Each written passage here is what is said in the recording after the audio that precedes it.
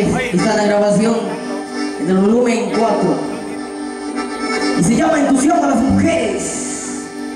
Y esto suena así, y dice...